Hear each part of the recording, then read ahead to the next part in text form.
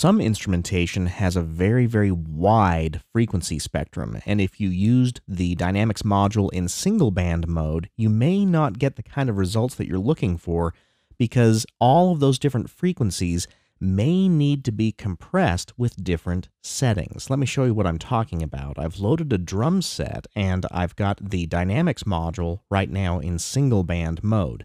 So let's do some compression on this drum set. So I'm going to start the playback. And then let's add some compression. So I'm going to use a 4 to 1 compression ratio. And then let's uh, have it compress a little bit sooner, so I'm going to drop the threshold a bit. And now let's listen to the before and the after.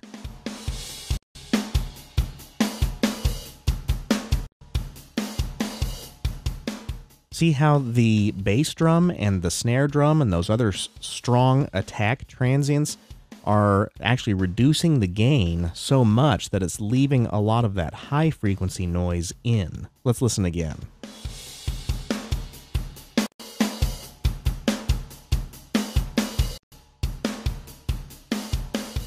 plus the fact that it just sounds kind of overly squished right at the moment. So this is a perfect time to go for the multiband mode. So I'm going to enable the multiband button right down here, and then bear in mind that when you have the multiband mode enabled, these band controls now are active. So you have band 1, 2, 3, plus the all mode and the link control. And I'll go over those last two a little bit later. But since we're in the multiband mode, we have three separate frequency dependent compressors and gates. Each one will work in a different frequency range. And so I'm going to come over here to the crossover view in the spectrum and have it do the analysis of the crossover frequencies. So I'm going to start the playback and then right or control click in the spectrum and choose learn.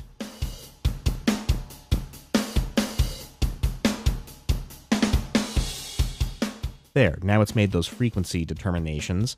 So by selecting the bands here in the spectrum window, it's going to allow you to choose the compressor that you're working with. So this would be the low frequency compressor and gate, this would be the mid-range compressor and gate, and this would be the high frequency compressor and gate.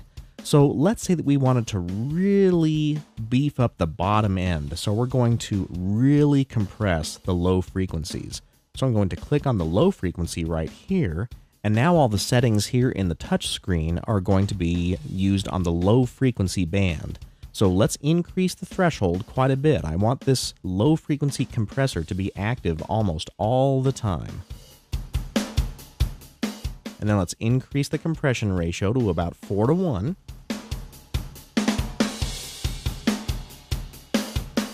Now that did pull some of the volume away from the sound. So I'm going to enable the auto gain control down here.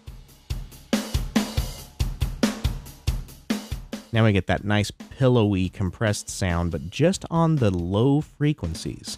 Let's listen to it before and after.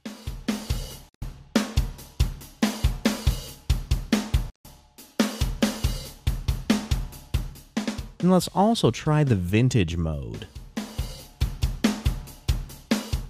Very subtle difference, but that's a really nice sound. So I'm going to leave the mode set to vintage, and now I'm going to move on to the second or mid-range compressor and gate, and I can do that by clicking the second band control down here, but I actually like moving up here to the spectrum display and clicking that frequency band here.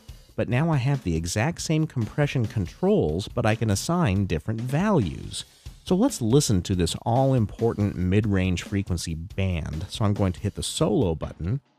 And I want to add just a general amount of compression to this mid range frequency band. So I'm going to move the threshold down to a little bit larger value than the bass drum frequencies or the bass frequency, which was around 22 dB below zero. So at minus 14 dB below zero, that compressor is not going to be active all the time. Only when things like the snare drum and the click of the bass drum occur will the compressor actually engage. So let's move the compression ratio to about 2.5 to 1.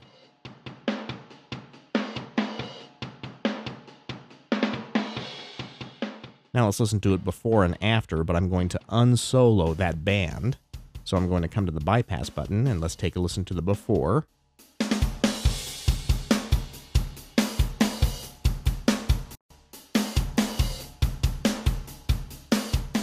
That's a nice finish that we've got on that mid-range band. Now let's do something really interesting with the high frequency band. So I'm going to select that high frequency band and I am going to change the compression ratio, but I'm actually going to adjust it in a negative direction. See how the compression ratio knob actually goes below its default setting of 1.0 to 1? So by doing that, we can do some upward compression. So what's going to happen is the quieter sounds in this frequency band, or the quieter signal levels, are actually going to be increased. Watch what happens over here on the graph when I move that compression ratio to the left.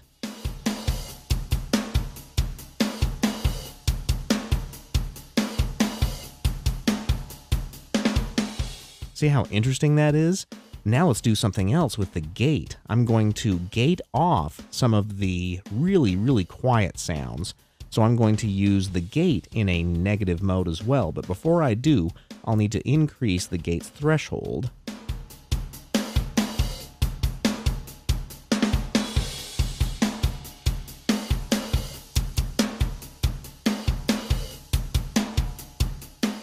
And that gives us a very, very lively sounding room because that upward compression is only happening on the high frequency band. Let's listen to the before and the after.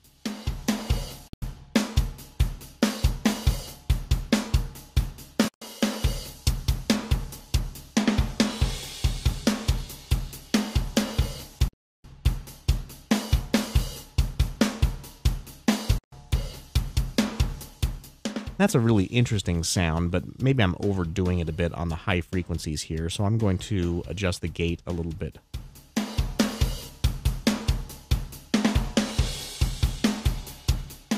And then since I really want to bring out those bass frequencies, I do have the auto gain on, but bear in mind that the gain and the mix controls also work in a global mode or a single band mode. So if I change the global setting to a band mode and then come over and choose the low frequency crossover, then I'm going to increase the gain of the low frequency compressor.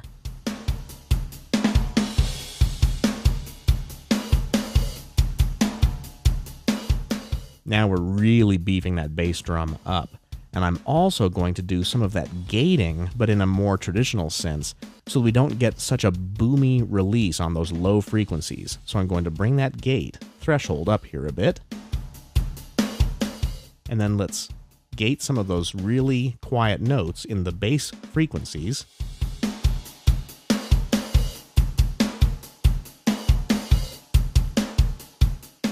See how it is not nearly as lively on those bass frequencies as it was before? Let's listen to the before and the after.